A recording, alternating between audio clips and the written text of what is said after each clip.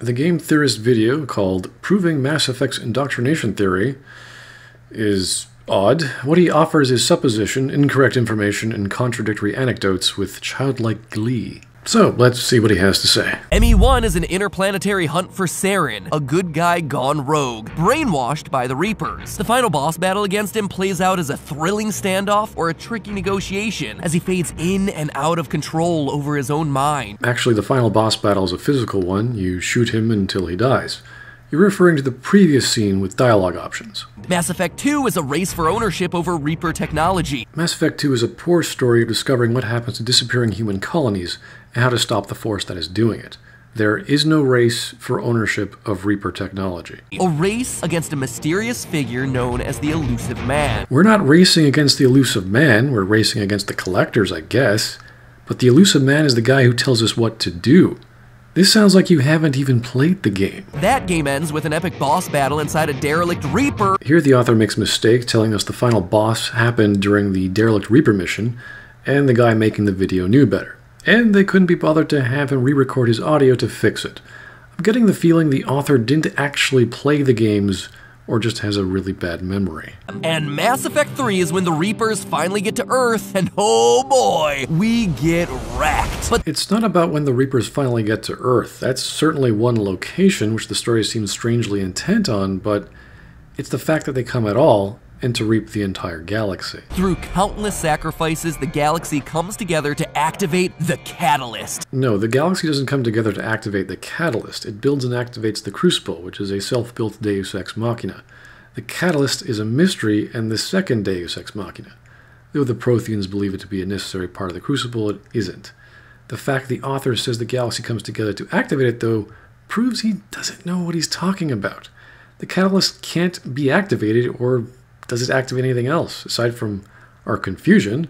And the galaxy certainly doesn't know anything about it, nor do the people throughout the cycles know exactly what it was. It's kind of what a Deus Ex does, though. So, yeah, I can understand his confusion, but he's still getting his terms wrong.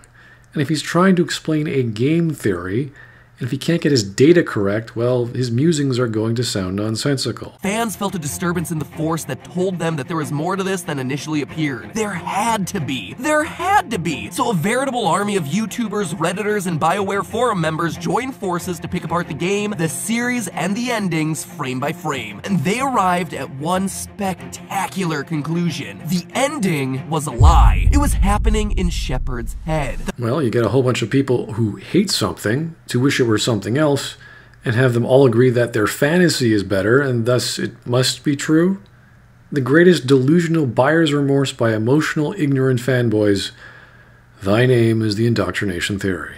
Final test of the game wasn't a traditional boss battle, but rather a battle of wills. And that's where he fails, at the premise.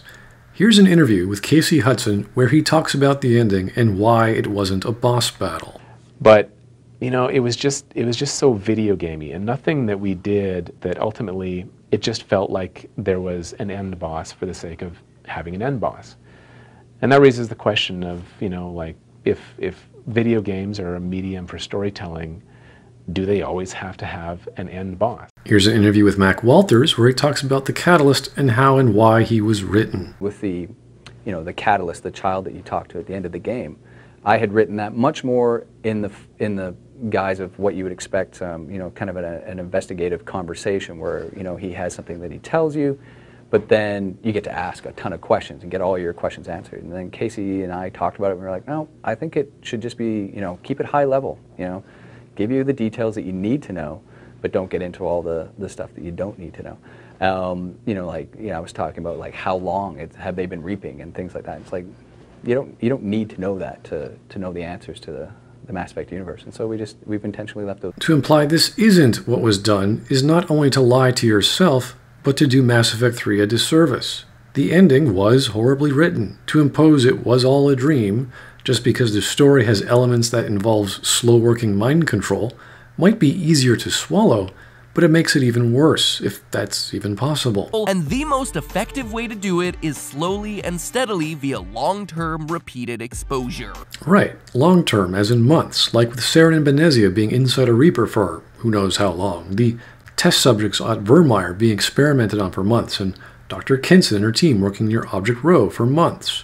It also requires someone with a weak will, something Shepard doesn't have.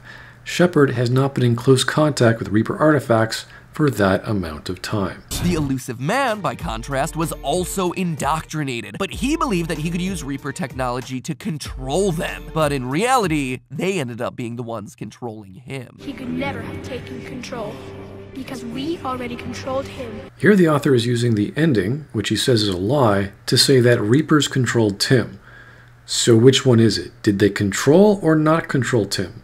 Either the Star Child is real and did control Tim, or he's just a hallucination. This is an omnipresent motif throughout all three installments. I'm not going to argue semantics here, but because it's established in the story so well and that we have lots of evidence of how it works, it doesn't fit that out of nowhere Shepard is now indoctrinated the same way everyone else has been. A, it takes time. Shepard is not near Reaper Tech for more than a few moments, and at most a few hours. Arrival DLC is optional, and the Derelict Reaper level is under an hour. It needs someone with a weak will, which Shepard certainly doesn't have. Not only does it require time, it requires close physical proximity, and Shepard is never near these things for that long. None of the symptoms for indoctrination were showcased throughout Mass Effect 2 or at the start or during Mass Effect 3, where we had plenty of time to think and dream with Shepard.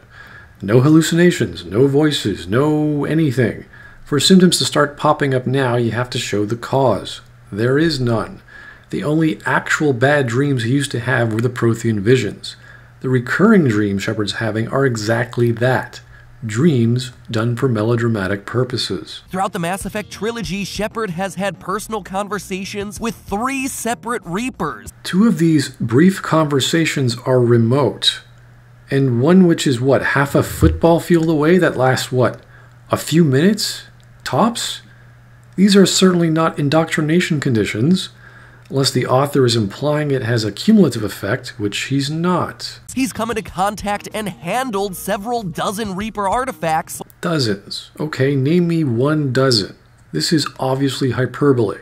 There is certainly a quest from Hackett to acquire Reaper samples, maybe three or four, but again, doing so lasts for a few minutes, and Shepard shows no symptoms.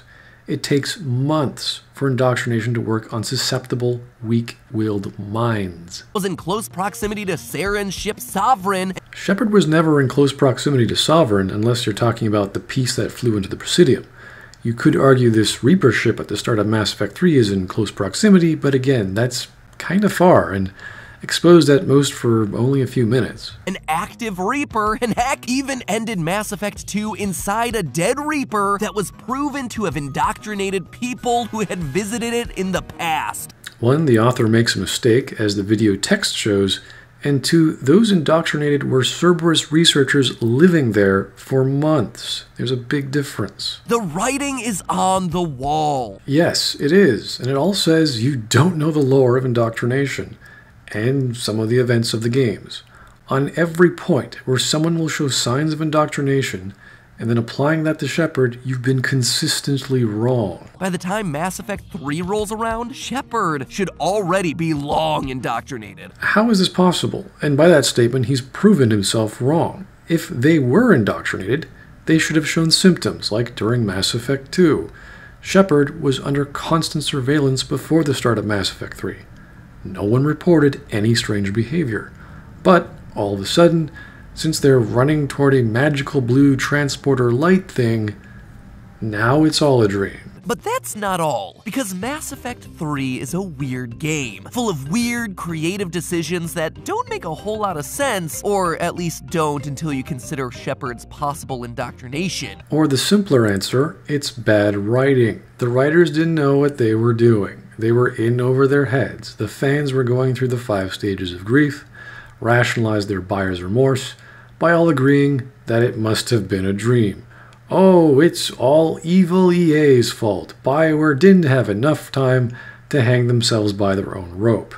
Oh, but BioWare actually did that, because that was a statement by the founder of the darn company. Remember those three DLCs made to appease the fans? Yeah, that's because of the ending.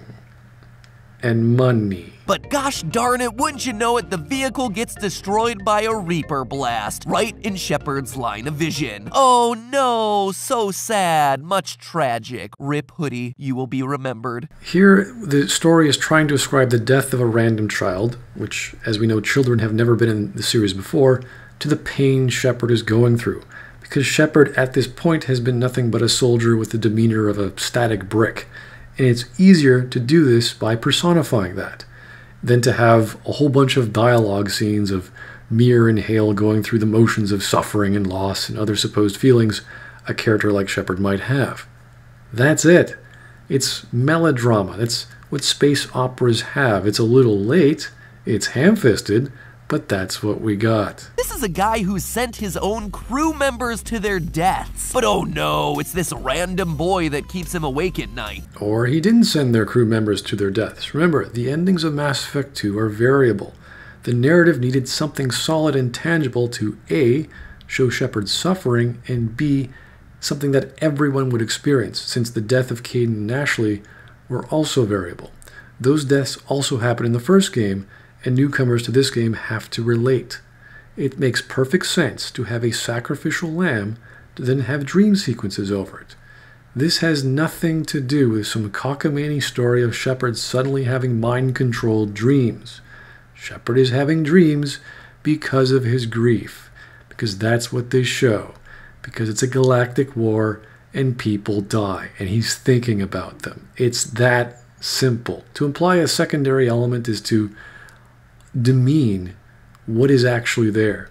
You can interpret the emotions and motives and meanings of a scene, but you can't interpret how a dream comes about, especially when you're trying to jam it into a mind control hole whose facts you either don't understand or are getting wrong. And not only that, McBiscuits is such an important symbol to the game that the Catalyst, the weapon built to finish off the Reapers, speaks to Shepard by taking its form. Exactly. If the ending is true, that's exactly what happens. If the ending is a hallucination, then everything you've stated about the Catalyst is false. You can't have it both ways. And once again, the Galaxy did not build the Catalyst, they built the Crucible. And at no point, no point in any of this does Shepard ever question the Catalyst about its choice of shape. They never stop for a second to go, uh, hey, how come you look exactly like this little boy that's been haunting my dreams for weeks? While that's a decent question,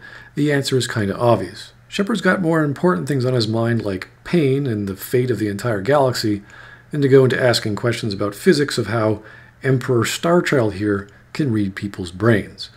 Why didn't something happen in a story is not evidence why some made up fantasy exists to explain atrocious storytelling. Continued in part two. Ah!